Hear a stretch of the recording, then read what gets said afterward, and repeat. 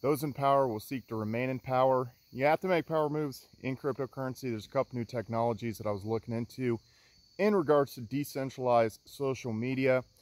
Russell Brand recently got demonetized on YouTube, so that was kind of a big deal. He's over on Rumble as well, uh, but they have not liked his message in regards to calling out the COVID scam, calling out other things. They do not like those guys. They could get rid of a guy like Joe Rogan. They would love to get rid of him and others as well. Um, now, it seemed like they kind of cooled this whole demonetization and deplatforming there for, for a bit. Obviously, when the tide turned so hard that it seemed like everybody that was kind of a conspiracy theory uh, suddenly turned out that they were right, um, you know, kind of thing. So, now that being said, we live in this dystopian future, and um, you know, there's definitely never been a time that's more important to have decentralized social media, but it's been very, very hard for any of these to like catch uh, major, major traction and um, really kind of gain a stronghold for various different reasons. Whether that's a marketing issue, which that's oftentimes going to be the issue, whether that's kind of a technological barrier where it's too complicated to use. Um, but a couple, a couple projects that I wanted to mention. There's one called DeSo, and they actually do have some platforms up there that are built on this. Um, but basically, the picture and the video hosting is actually held on the blockchain, whereas previous iterations of, of these blockchains, um, let's say let's say like Steem, Hive, Blurt, DTube, all this kind of stuff, the hosting is not taking place actually on the blockchain. It's um, that's all text-based, so it'll be a link to something else. So you're going to have to have other picture storage, you know, other file storage to um, store video, pictures, that kind of thing. Now, um, that becomes an issue if people put stuff up and then if a server gets taken down or something else or someone moves on from it, something goes down, you know, then all the links are broken essentially. Um, now, there's obviously, um, you know, issues storing everything on the blockchain, but DeSo and the internet computer are two technologies that have sought to try to fix this issue and make something that um, where you could store the stuff on the actual blockchain. Now, um, Russell Brand, you know, I go, go back to this. Russell Brand got demonetized on YouTube. And, you know, Fresh and Fit podcast, which if you don't know who that is, it's mainly in this kind of like manosphere, dating, uh, sort of red pill kind of space uh, that these guys would bring people into their podcast, these women in, into, you know, podcasts in Miami and basically talk to them about different things like dating, meeting guys, Instagram, all this kind of stuff. And, um, you know, it's, it's sort of insightful on everybody's kind of mindset and all this, but the powers that be, they don't, they don't like that message. They don't like the way that they would talk. They don't like that, you know, they would kind of like put out these truth bombs from my perspective um, on some of this stuff, you know, and, and it's, it's again, everything's became so kind of feminized and so betatized um, that you know, that that's sort of the message that's being pushed by uh, Hollywood on social media. And there's, uh, you know, 100% evidence that the U.S. government, you know, told these social media networks to, you know, take these different people down at various times, especially during the COVID, you know, scamdemic, that they were trying to push this whole vaccine narrative. People were going against it or showing other stuff that shows that the vaccine was not going to work, including the guy who created mRNA technology, um, speaking out against it, and then they're just acting like, oh, don't don't worry about that. He's, you know, they're just making stuff up. They're anti-vax. They're um, conspiracy theorists. This and that. So they want to control the narrative. Those in control seek to remain in control. And um, you know, for you to kind of get into control or have your voice heard, because it's always been an attention economy but now more so than ever, it's an attention economy, whether that be on Instagram. And this can be naturally curated. Um, you know, that you can use something like Instagram, you can use something like YouTube, you can use something like Twitter that, um, you know, this, this kind of naturally curates and kind of shows sort of what has the most traction or what has kind of garnered the most eyeballs to some capacity. Um, now,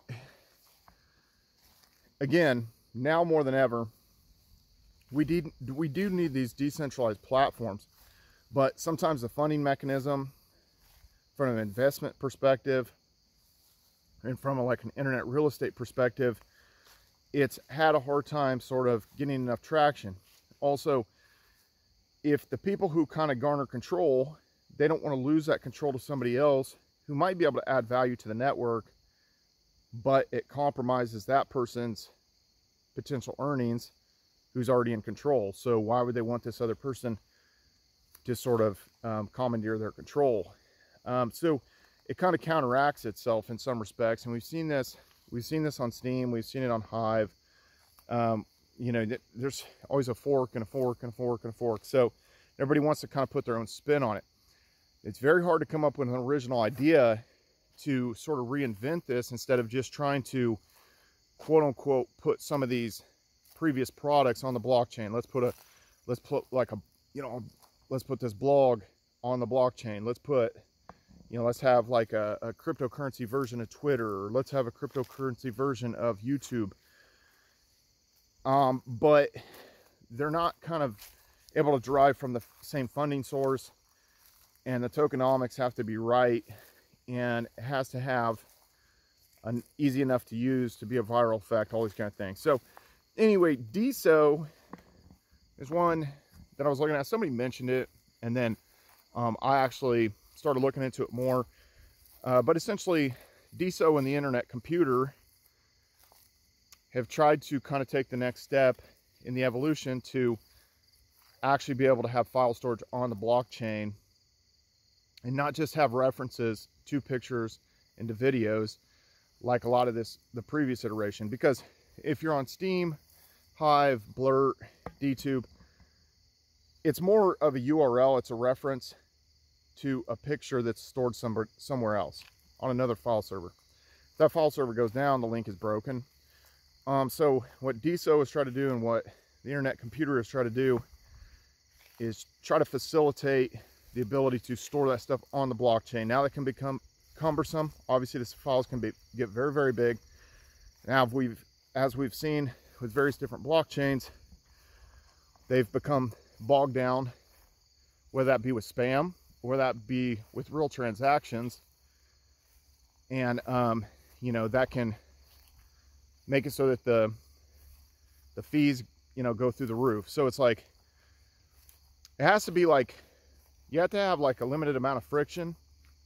People can post, people can create accounts, people can do that relatively seamlessly, but you don't want flood of bot accounts. Even Elon Musk was talking about with Twitter that um, he's thinking about charging for each person to be able to post to try to knock down on these bots and the spam. And that's something that Blurt, and this is this is a this is a takeaway that some people don't like let's say blurt um, because you're visibly seeing how much each transaction costs. It costs you to do everything. It costs you to follow someone. It costs you to like, you know, costs you to like something. It costs you to make a comment. It costs you to uh, essentially do anything. And they make it visible.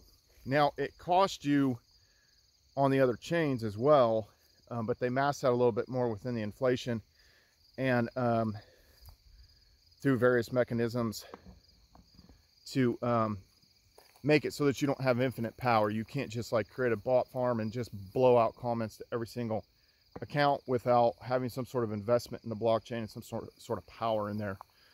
And, um, you know, I think that everybody's trying to address this issue or try to figure out what is what is going to be the thing that works. And even if someone gets to a point where the tokenomics and everything are correct, it's very hard to say, well, was it marketed at the right time?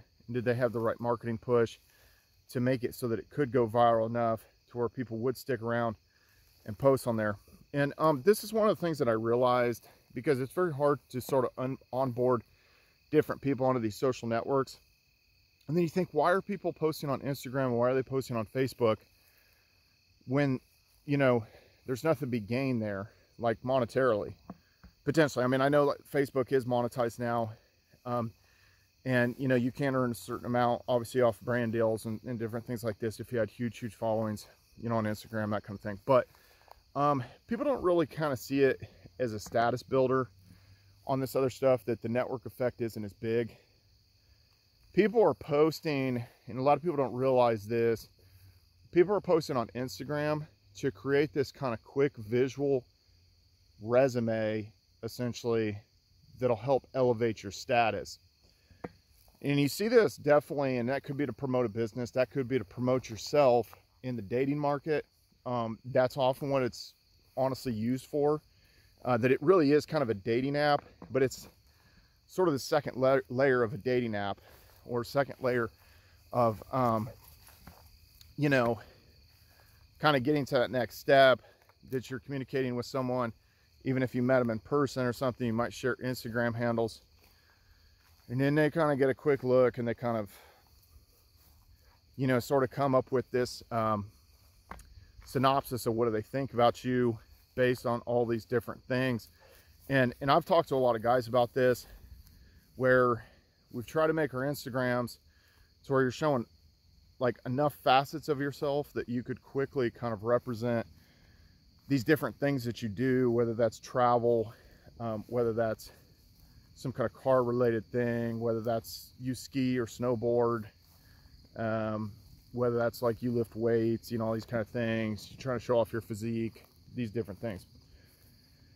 And um, on these other social networks, they haven't, they've been um, niche enough that people didn't feel like that it would increase their status in their social circle or in their world. Now, in my world, because part of my world is cryptocurrency, obviously I've been in crypto for 10 years, it does increase my status to be on Steem, Blurt, Hive, DTube, all these, and to check out these other offerings, you know, from like DeSo and Internet Computer, and to see if what they've got going is going to be the next iteration. Now, the interesting thing about the Internet Computer, and I'm going to have to dive into it further, it is EVM compatible. Seems to be one second block times, uh, which is which is definitely an advancement from most chains that are three second, obviously. Um, not as fast as the EOS.IO software, which is 0.5 seconds per block. And then Solana's 0.4 seconds per block, but it seems to go, go down like every month. Um, but that being said, the internet computer could be, and I'm gonna have to investigate into it further because their tokenomics could be off the price was way up and then it has really crashed and it's like long tailed out and it keeps getting burn off burn off burn off could be an investment play. It's something i'm looking into. I'm not saying you guys should jump in there. I'm not saying i'm going to be throwing a bunch of money at it. I'm investigating into it. Um, but if it does have the ability to reliably store images and video cheaply um, which i'm skeptical of and maybe that's one of the reasons that the tokenomics have continued to bleed off. I don't know. Um, it could be something to look at and it could create more decentralization away from sort of the centralized servers and centralized file sharing mechanisms that we've seen with uh, some of the other solutions. So anyway, guys, looking at those and, um, you know, kind of commandeering some of these networks or taking a big position in these networks sometimes you have to look at it a different way too. What kind of social clout do you get in the cryptocurrency world if you took a big position in some of this stuff and other people knew it? It'd be analogous in some respects of people flexing their watches, flexing their supercars, flexing their jets, um, that they gain a certain amount of status in that. If you can gain a certain amount of status in the cryptocurrency market by taking a big, big position on certain chains, uh, that could potentially bid well and you have power in the system and power to sort of direct the motion of that platform, just like Elon Musk obviously purchasing Twitter, um, giving him a certain amount of visibility. Now, most people would sort of agree paid too much. Uh, it really wasn't that great of a deal. And in some respects, he probably wishes he was out of it. Uh, but that being said, he can sort of steer the platform in a way that he wants it to go. And um, at the end of the day, you know, it's a big power play. We'll see how it works out. Uh, you could maybe do the same thing in the cryptocurrency market. you know, myself and some of my associates, you know, we're looking to do a similar type thing and um, just seeing if, you know, that makes sense and exploring these other technologies that might be a kind of a big buzz if they can get enough users onboarded and, um, you know, technologically, if it is an advancement, it could be something for the next kind of go around. Again, internet, computer, and DeSo, looking at them, haven't invested, haven't invested, so that's like full disclosure on that. Anyway, guys, do you guys think you'll invest in DeSo or internet computer? Have you looked into them already? Follow me on all social media at Brian Phobos, YouTube, Instagram, Steem, at Twitter, Hive, DTube, Blurt, everywhere. See you guys.